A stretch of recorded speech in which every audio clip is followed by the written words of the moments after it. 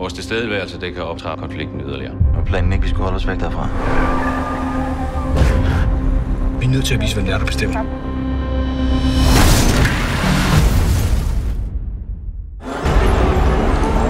Hvordan kommer vi ud herfra? Der. Og hvor er vi?